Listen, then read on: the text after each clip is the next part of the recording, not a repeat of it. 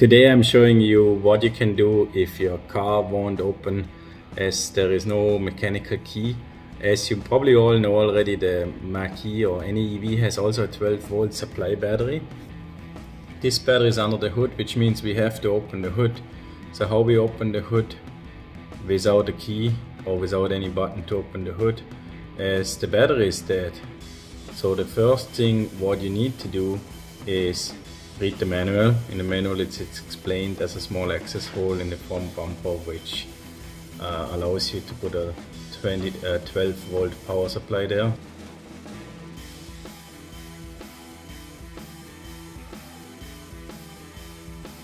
So first I open that hole.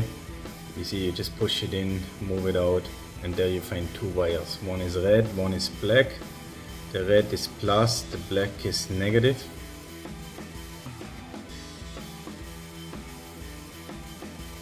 Then I have to get a power supply. You can use another car or a booster. I used my motorcycle so I had to remove all the seats from the motorcycle and then I could put the jumper cables.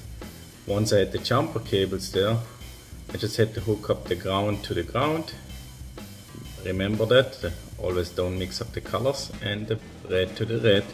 And you hear the hood popping up, you make two times that sound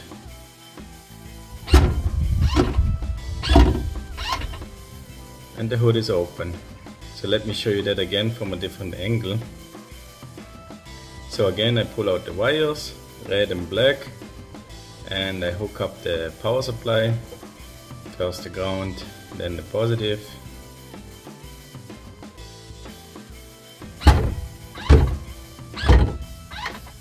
And the hood is open.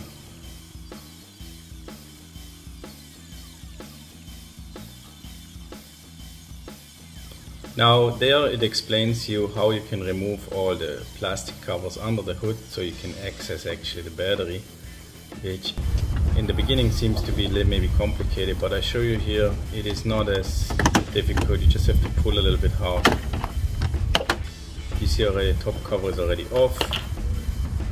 I'm going to rip off the side cover as well. Just pull hard. There's only clips in there Watch out, sometimes the clips get loose and fall down.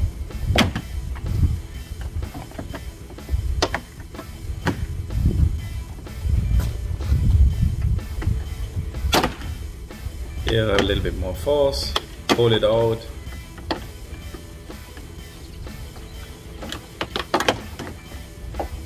And now it's all the way out. Now here's the positive and the negative pole.